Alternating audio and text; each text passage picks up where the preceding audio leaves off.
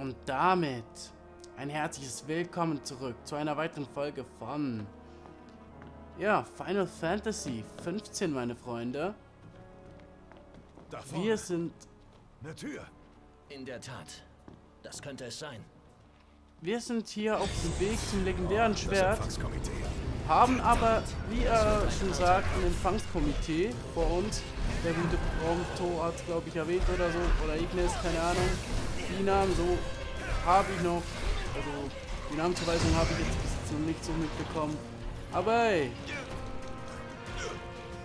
wir haben jetzt immerhin eine Möglichkeit zurückzuschlagen, äh, nachdem wir ein bisschen hier ähm, mit Prompto auf die Nudel gegeben haben. So. Äh, und warum hast du immer die Waffe, Mann? Ich bin jetzt gerade hier beschäftigt. So. Überraschungsangriff, was? Wie ging das? Warum sind zwei von denen da? Ja, ist klar. Das riecht nach Ärger. Dankeschön. So. Willst du mich verarschen? Die kriegen ja kaum Damage, die guten Kollegen.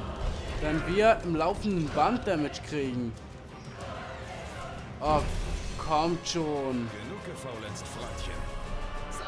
Na, komm. Uns beide direkt. Und wo kommen denn die her?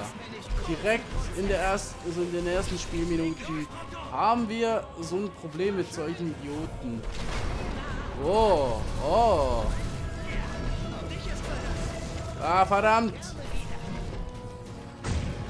So, kannst du mich mal kurz... Danke.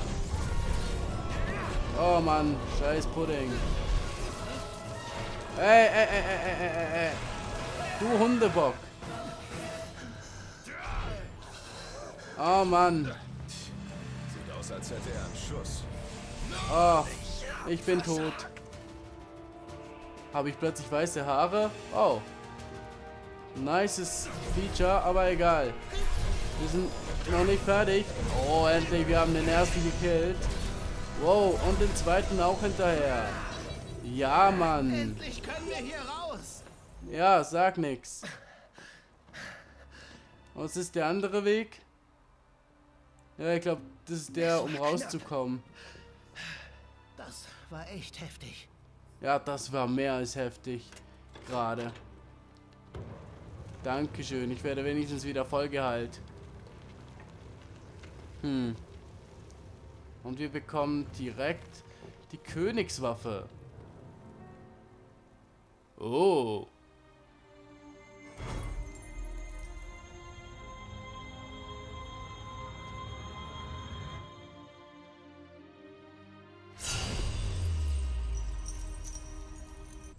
Beirufen. Wenn Noctis angreift oder sich verteidigt, lässt sich der kreisförmige blaue Limitbalken am linken unteren B Bildschirmrand auf. Ist er voll, kann es losgehen. Solange die Königswaffen dich schützen, sind alle deine Statuswerte erhöht.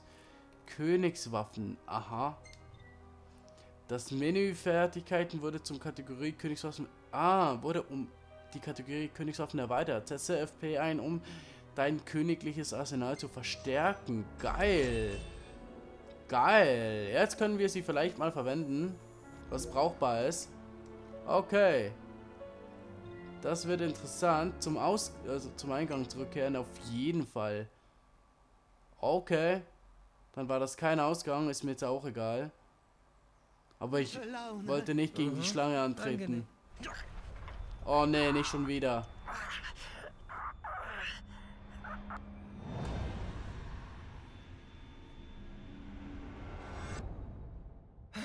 Alles in Ordnung? Was ist los? Wo bin ich? Nockt? Ich habe etwas gesehen. Lodernde Flammen. War das der Meteor? Eine Vision von der Cortez-Platte?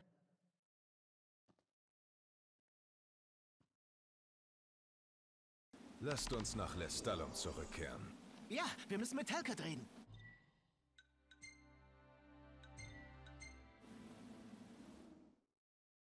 Okay, kehren wir zurück und geben dann mal eigentlich unsere FP aus.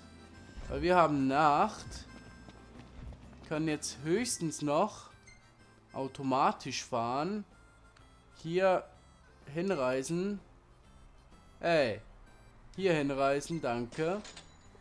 Und dann noch schnell äh, die Fragezeichen-Mission dort mal kurz in Empfang nehmen und dann pennen gehen, mal kurz. Würde ich so glatt behaupten, weil Nacht ist und wir FP brauchen und das kriegt man ja nur, wenn man einmal übernachtet. Das ist ein bisschen doof gemacht, dass man eigentlich sozusagen die XP-Level alles ansammelt und dann eigentlich alles auf einmal kriegt. Auf der einen Weise ist es äh, ziemlich praktisch und auf der anderen Weise einfach ziemlich scheiße, weil wenn man während des Kampfes irgendwie ein Level höher kommt, äh, kann man, also könnte man vielleicht schon besser sein gegen den Gegner und das kann man ja so nicht, weil man zuerst noch während des Level-Ups noch schnell kurz nach Hause gehen müsste oder besser gesagt in ein Bettchen steigen müsste und dann übernachten und erst dann wird das Level Up übernommen. Und das ist so ziemlich behindert, aber okay.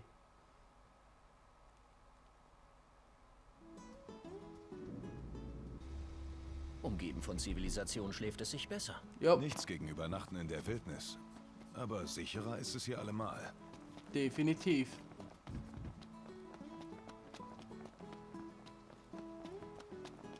Ich weiß, ich sollte dort drüber, aber ich muss mal in diese Richtung. Komm, du kannst gleich wieder weiterrennen. Ist mir egal, wie äh, du, also wie kaputt du bist. Noch fünf Tage. Oh, ich habe die gleich fünf Tage gemietet. Oha. Die sind ja billig. Ich dachte, die hätte ich jetzt nur irgendwie, äh, ja. Einmal oder so, also fünf Minuten so. Aber okay. Für jedes Problem die richtige Lösung. Man sieht sich. Äh, nö, ich möchte nur die Aufgabe annehmen. Hey, du da. Hast du mal einen Moment Zeit? Warum? Ich brauche Hilfe bei der Warenbeschaffung. Hm, nichts, womit ich den Verband behelligen würde. Bitte oft meine Kundschaft. Fort sein. Wann immer du Zeit hast. Okay, die Pantherknacker Barretaurus erlegen. Oha. Deine Frau wurde befördert? Glückwunsch, Mann. Ziemlich interesting.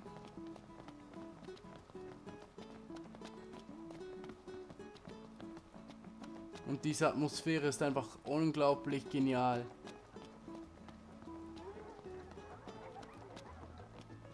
Ungefähr weiß ich zum Glück, wo ich jetzt hin muss.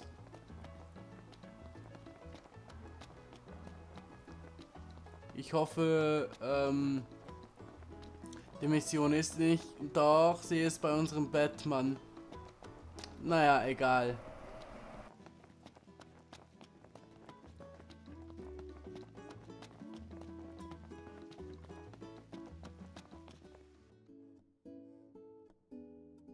Willkommen zurück. Dein heißer Tipp war Gold wert. War die Geschichte etwa wahr? Vielen Dank, Talcott. Ach, nicht doch.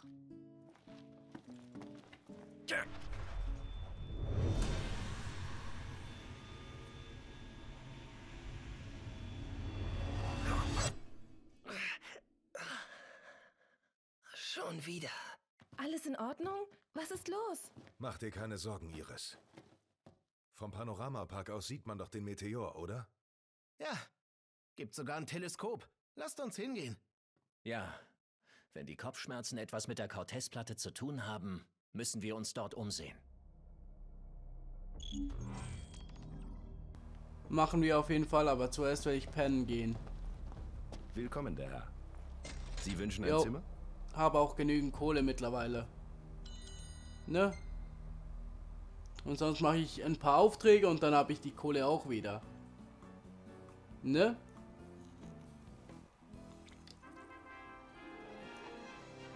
Okay. Direkt auf Level 23 von der Level 21. Bei unserem guten Noki. fand es abstoßend und faszinierend zugleich. Ja, und kein richtiges Bild. ey. Wimmelte es nur so vor Feinden.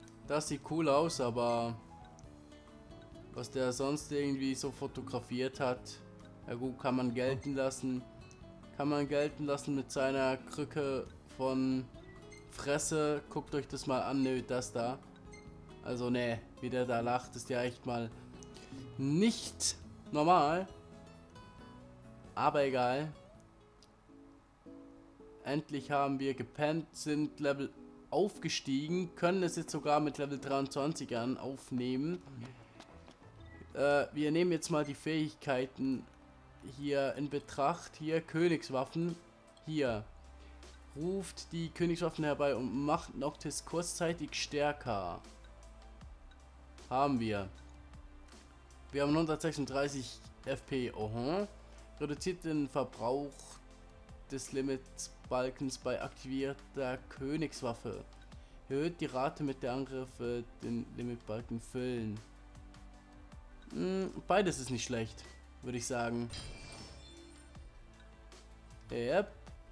Dankeschön. Und was ist das? Gewährt ein FP bei Aktivierung der Königswaffen. Äh, ne. Lassen wir noch. Dann gucken wir mal noch, was wir mit den anderen 88 ähm, FP machen. Für den Kommandobalken auf, wenn Noctis einen Gegner trifft. Hm. Ja, warum nicht? Das brauchen wir. Davon sind wir ziemlich abhängig. Leider, muss ich gestehen, möchte auch nicht so einfach an allem irgendwie dranhängen müssen. Ermöglicht nach einem Angriff in der Luft einen Schritt in die gewählte Richtung. Ähm, keine Ahnung. Erhöht den Schaden von Überraschungsangriffen. Warpschaden. Automatisches Ausweichen. äh, verbraucht noch weniger Energie. Ähm, ja, kann ich sowieso vergessen. Ja gut, dann nehmen wir eigentlich, müsste ich rein technisch gesehen zuerst mal das kaufen. Dann gereift, aha, ermöglicht mit Ausweichmanöver in der Luft. Ja gut, dann habe ich das, was ich kaufen möchte, schon gefunden. Ja gut, und was ist das dann? Ermöglicht noch einer Luftschritt-Angriffskombination einen erneuten Luftschritt. Oh, dann werde ich ein richtiger Luftmeister, Freunde. Talente, äh, der ist schon auf 5, der Kollege. Magie, ähm, ja, Inventar, ähm, Ausrüstung, Noctis. Haben wir irgendeine Königswaffe oder so? Motorklinge. Haben wir irgendwas Interessantes neu aufgenommen? Schwert des, äh, Schwert des Wandernden. Äh, ist es gut? Keine Ahnung. Es ist auch so eine Waffe, so eine Reliktwaffe. Das Schwert eines Königs, der einen mächtigen Wall errichtete, um sein Reich zu schützen, es ermöglicht Wapangriffe von Feinde zu überraschen. Ja, dann gucken wir mal. Haben wir mit dem was Neues? Irgendwas? Nö. Bei dem? Nö. Äh, was hast du als Nebenscheiß? Nö. Nur die Trainerlanze. Prompto. Wirbel. Ne. Ne, ich habe schon die besten Waffen ausgerüstet. Hey, Und ja, ich sehe gerade, das sind nur vier Spieltage. Aha. Sehr interessant. Äh, verdammt. Oh, nö. Falls es gegangen wäre, hätte ich ihn einen Absacker in die Tiefe gemacht. Oh Mann.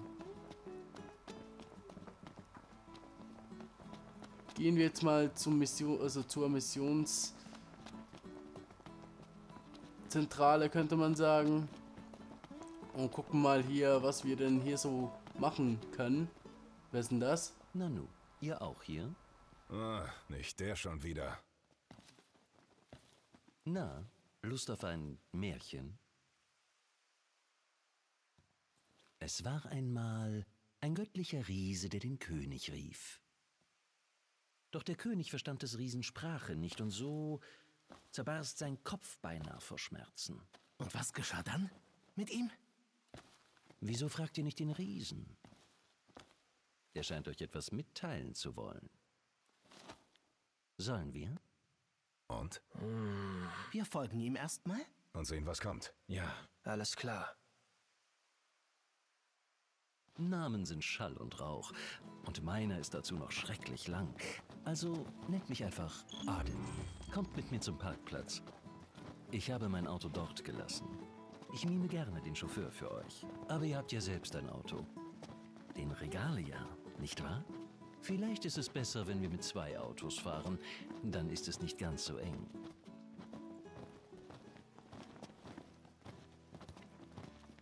Okay. Wohin der wohl wieder mit uns möchte. Das wird interessant. Äh, verdammt. Wo ist unser Auto? Das ist dort.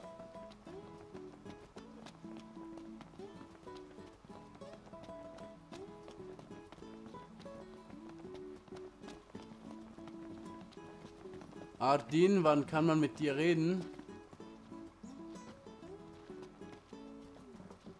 Ey, Alter, steh dem nicht im Weg rum, Mann.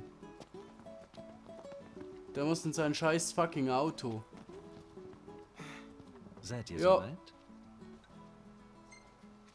Und ich bestimme, wer fahren soll. Du. Du sollst fahren. Oh, ne.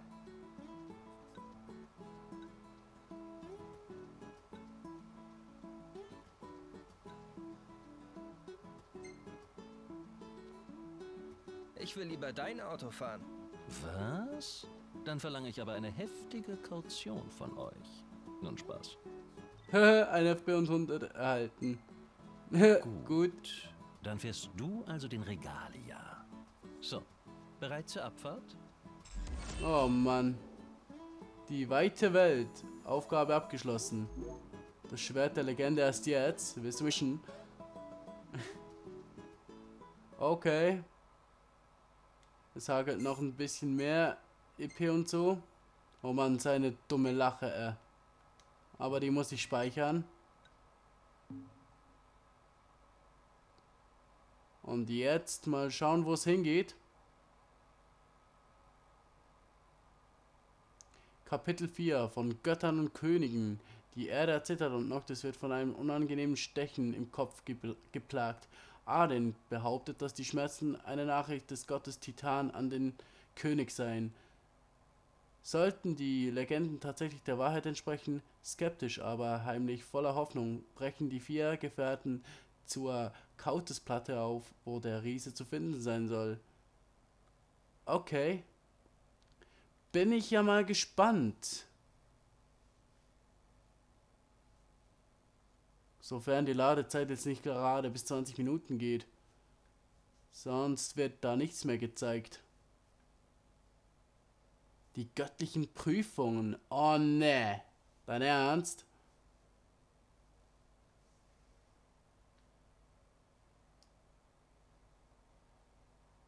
Du willst mich doch verarschen, mein Freund. Aber damit das klar ist, das wird kein Wettrennen. Ihr fahrt schön brav hinter mir her. Wenn ich euch abhänge, ist das Spiel allerdings Oh, nee. aus. Und wehe, ihr fahrt zu dicht auf und zerschrammt mir meinen geliebten Wagen. Oh. Ja, doch, ist ja gut jetzt. Fahren wir los. Ja, fahr los. Schön die Sicherheitsgurte anlegen, Kinder. Oh Mann. Am Kai war der Kerl auch schon. Ob er eine Reise macht? Wenn du mich fragst, ist das mehr als nur ein Zufall. Mir kommt's eher so vor, als würde er uns verfolgen. Ja, das Gefühl habe ich auch. Und es beunruhigt mich. So wie die Frage nach seiner Herkunft. Wie ein Niflheimer wirkt er eigentlich nicht, oder? Wie ein Lucianer, allerdings noch viel weniger.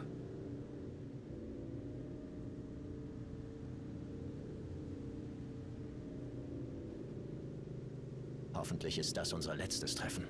Ja, aber ohne ihn kommen wir nicht zum Zentrum der Kautestplatte. Markt, was hältst du von dem Typen? Keine Ahnung, vielleicht hat er eine Midlife-Crisis und sucht Anschluss zu jungen Leuten. Ja, stimmt. Das könnte gut sein. Wir bleiben jedenfalls erstmal bei unserem Plan. Ja, wenn's brenzlig wird, seilen wir uns ab.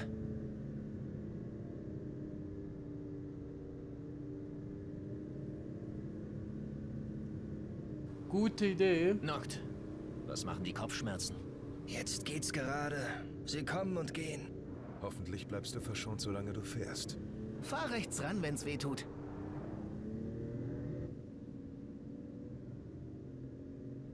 Hier wäre gar nichts recht rangefahren, du. Gibt's in der Nähe ein Idiot. Refugium? Willst du etwa schon wieder zelten? Erholen wir uns lieber richtig. Campen ist erholsamer als jedes Hotel. Was findest du am Campen bloß so toll? Die vielen Mückenstiche vielleicht? Es geht nichts über den unvergleichlichen Duft der Natur. Kein Zeitdruck und ein Gefühl. Von Freiheit. Was haltet ihr davon, hier zu rasten? Was hältst du davon, uns ans Ziel zu bringen? Der Riese rennt euch schon nicht weg. Das ist nicht der springende Punkt. Also übernachten wir mit Arden. Niemals. Im Refugium können wir zelten. Nein. Wisst ihr, Zelten ist nicht mein Stil. Dort drüben ist ein Wohnmobil. Ich spendiere die Übernachtungskosten. Ähm, okay, die angesammelten EP werden verrechnet und das Spiel und das Spiel wird gespeichert. Aha. Nicht schlecht. Hat irgendwie was von einer Reise.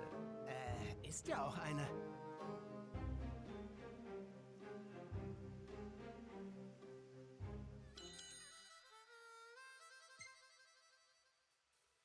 Oh Mann. Wir sind ja kaum weitergekommen, Mann. Und den schon wieder, der Typ. Warte mal.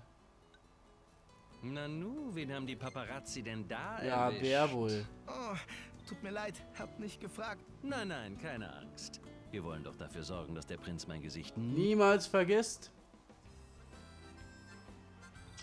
Adin hat dir eine Lockpfeife in der Umgebung anlocken. Äh, für welchen äh, Aspekt braucht man den? Also, äh, mit allem Respekt. Ich brauche doch keine Lockpfeife, Mann. Ich bin vom Blute der Kanagi. Wie meine Mutter werde ich alles tun, damit die Menschen in Frieden leben können. Ich frag mich, wo sie wohl hin ist. Ich nicht. Uh, Cutscene.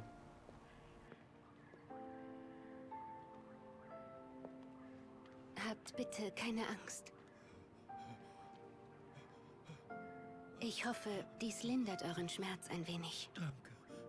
Euer Gnaden.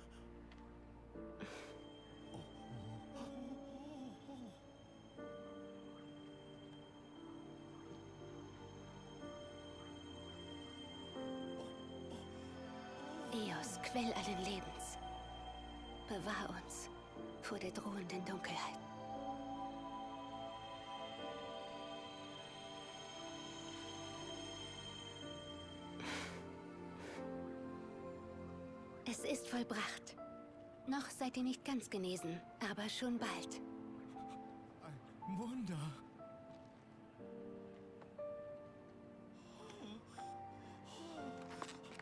Habt vielen Dank, werte Kanaki. Ehrenwerte Luna Freya, ich bin weit gereist. Doch endlich. Es tut mir leid. Ich. Nein. Ich bin euch sehr dankbar. So dann beginnen wir.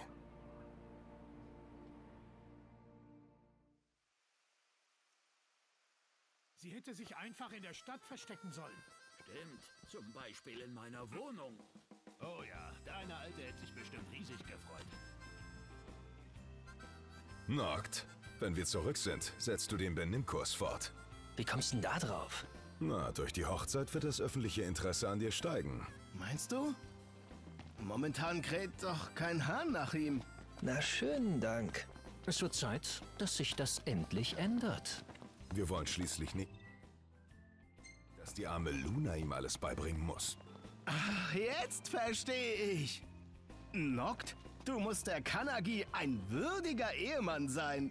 Schlimmstenfalls kann sie ihn einfach als Zepterständer benutzen. Womit habe ich euch nur verdient? Bonjour. Wie? Ab hier gibt es kein Zurück. Sagt nicht, ich hätte euch nicht gewarnt. Seid ihr euch wirklich sicher?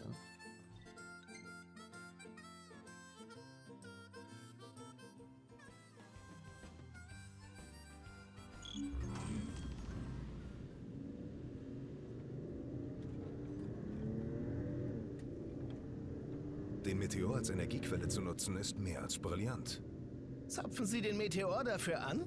Als der Meteor auf Eos stürzte, war es Titan, der ihn vor dem Aufprall abfing. Die Menschen sammeln die Bruchstücke ein, die dabei vom Meteor absplitterten. Und noch immer trägt der Riese ihn auf seinen Schultern. Echter Knochenjob. Bestimmt ist er ziemlich verspannt. Kein Wunder, dass die Bewohner Daskas den Riesen so verehren. Es hat sich ein regelrechter Kult gebildet. Ich frage mich, wie es tatsächlich unter dem Meteor aussieht.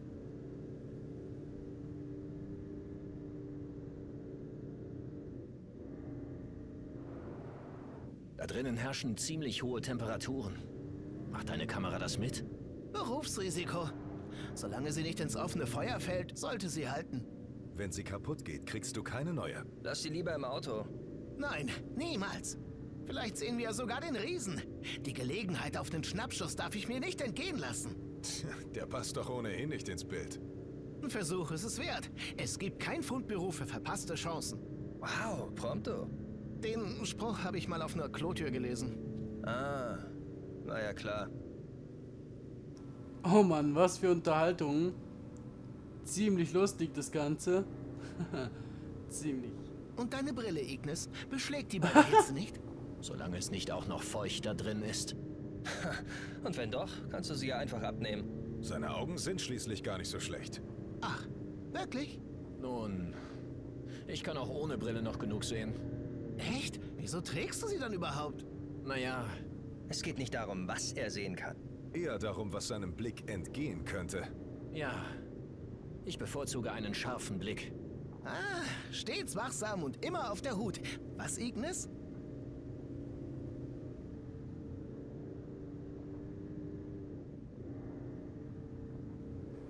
Sag mal, Ignis, wie ist das eigentlich so für dich als Beifahrer?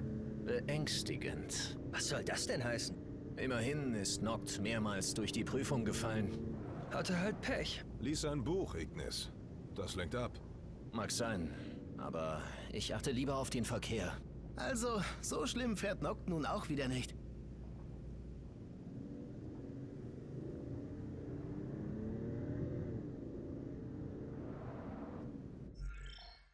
Du meintest doch gerade, Ignis soll lesen, oder? Meinst du mich? Ja, wird einem beim Lesen auf der Fahrt nicht schlecht? Also mir schon. Mir auch. Im Auto lesen, da wird mir speiübel. Faule Ausrede. Was meinst du denn mit Ausrede? Eine Ausrede fürs Nicht-Lernen. Tu nicht so, als wärst du gebildeter als er. Wir sind da. Ist das auch wahr? Weiter geht's. etwa für einen Lügner? Naja, so ganz sauber bist du nicht. Schon allein dieser Umweg. Hallo, ich bin es. Seid so nett und macht das Tor auf. Einfach so aufgemacht. Na, überrascht. Ich habe mehr Einfluss, als man mir auf den ersten Blick ansehen mag. So, ihr habt nun eine Gottheit zu besuchen. Kommst du nicht? Ich wollte euch doch nur bis zu seiner Haustür begleiten. Also dann. Macht's gut.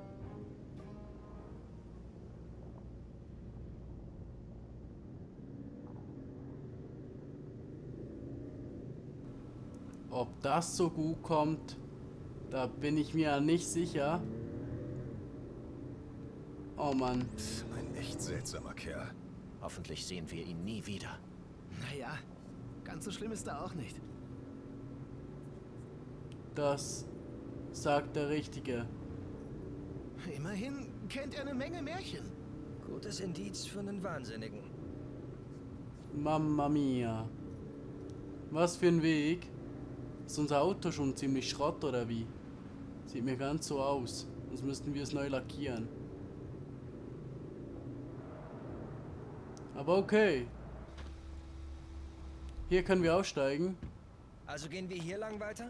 Ja, finden wir raus, was das Imperium hier treibt. Machen wir aber erst in der nächsten Folge und ich kann immer noch nicht speichern. Was ist denn hier kaputt, Mann? Ja dann, bis zum nächsten Part, Freunde. Wir sehen uns. Tüdle!